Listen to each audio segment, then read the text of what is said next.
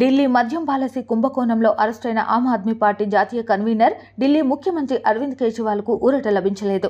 ఈ కేసులో మనీ లాండరింగ్కు పాల్పడినట్లు ఆరోపణలను ఎదుర్కొంటున్న ఆయన ప్రస్తుతం ఎన్ఫోర్స్మెంట్ డైరెక్టరేట్ అధికారుల అదుపులో ఉన్నారు. తీహార్ జైలులో ఉంటూ విచారణను ఎదుర్కొంటున్నారు. కేజ్రీవాల్ జ్యుడిషియల్ కస్టడీ గడువు నేటితో ముగిసిందే. ఈ నేపథ్యంలో ఈడీ అధికారులు ఆయనను రౌజ్ అవెన్యూ న్యాయస్థానం ముందు ప్రవేశపెట్టారు. ఈడీ తరపున అదనపు సోలిసిటర్ జనరల్ ఎస్వి రాజు తన వాదనలను వినిపించారు. మరో పది రోజుల పాటు కస్టడీ పొడిగించాలని న్యాయమూర్తికి విజ్ఞప్తి చేశారు. ఇన్ని రోజుల పాటు నిర్వహించిన విచారణ సందర్భంగా కేజ్రీవాల్ తమకు సహకరించట్లేదని అదనపు సోలిసిటర్ జనరల్ పేర్కొన్నారు.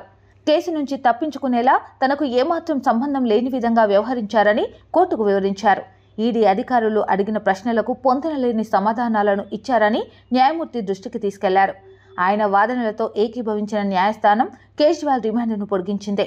జ్యుడిషియల్ కస్టడీకి తరలించాలని ఆదేశించిందే. ఈడీ అధికారులు కోరిన విధంగా పది రోజుల పాటు కాకుండా ఎనిమిది రోజుల పాటు కస్టడీకి అప్పగించింది కోర్టు. ఈ నెల ఇరవై మూడవ తేదీ వరకు రిమాండ్కు పంపిస్తున్నట్లు వెల్లడించిందే. ఇదే కేసులో భారత రాష్ట్ర సమితి సీనియర్ నాయకురాలు శాసనమండలి సభ్యురాలు కల్వకుంట్ల కవిత కూడా అరెస్టైన విషయం తెలిసిందే. ఆమె కూడా ఈడీ సిబిఐ అధికారుల అదుపులో ఉన్నారు. కవిత కస్టడీని కూడా రౌజ్ అవెన్యూ కోర్టు ఈ ఉదయమే పొడిగించిన విషయం తెలిసిందే. ఈ నెల ఇరవై మూడవ తేదీ వరకు జ్యుడిషియల్ కస్టడీకి తరలిస్తూ ఆదేశాలు ఇచ్చిందే.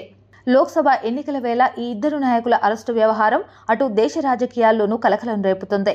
దీన్ని రాజకీయ కుట్రగా అభివర్ణిస్తున్నారు ఈ రెండు పార్టీల నాయకులు.